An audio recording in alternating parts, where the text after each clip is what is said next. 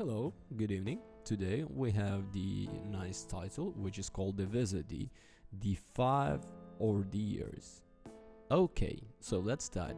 Wizardry The Five Ordeals is 2006 spin-off of an old-school Japanese RPG with improved scenario editor and a modern user interface. The Wizardry series dates back in 1981 and in Japan she is known as the creator of the hardcore fantasy games and many Japanese fantasy works were developed based on her. The Wizardry series follows the old TRGP hack and slash style. The player's goal is to create a character team in the training center, the outskirt the city and conquer the maze in a dungeon. The combat system in the game is presented on a simple turn-based one, but the narrative is worth paying attention to, since the Japanese believe this is the most important part.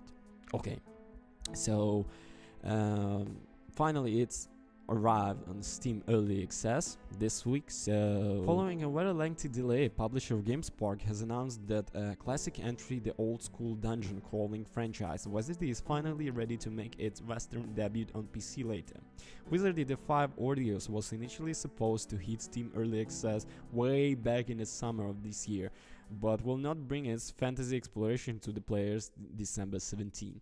According to the GameSpark and developer Studio 59, the Early Access Edition, the 5 Ordeals, will feature all 5 detailed scenarios, each of which promise dozens of hours of gameplay. Unfortunately, the much wanted game editor is not quite ready for distribution, and as such will follow in a later update scheduled for 2022. The team offered an apology for this missing feature in statement. Wizardry uh, The Five Ordeals is a spin-off from the legendary home computer RPG series, one of the first ever to exist.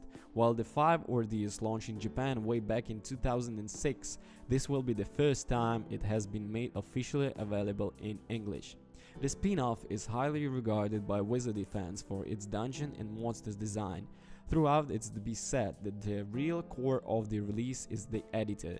The very feature that is unfortunately not launching until the next year.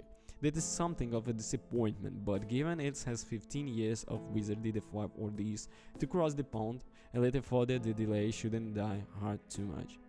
So the game is about the pixels, mostly. So the RPG is nice, nice, but it's getting way old to see right now. So the modern players are not going to play this game, um, like for sure, because it's very tough to very tough to very tough to very tough to sell this sell your time for this game. I don't know. I was playing for about like five five hours i guess.